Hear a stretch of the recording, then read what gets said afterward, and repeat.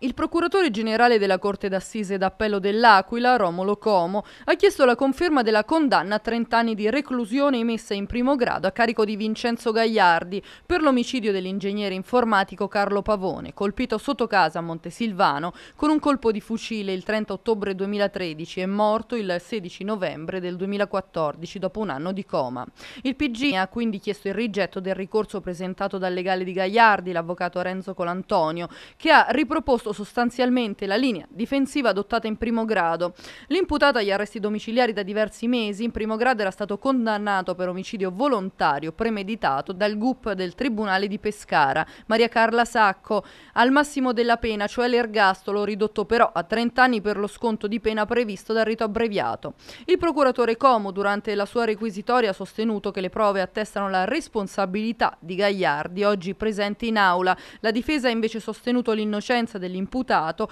facendo leva su alcuni elementi, come ad esempio il coltello rinvenuto sul luogo del delitto, prova, a suo dire, dell'innocenza di Gagliardi. La Corte, presieduta dal giudice Luigi Catelli, ha rinviato al 20 maggio per le repliche la sentenza.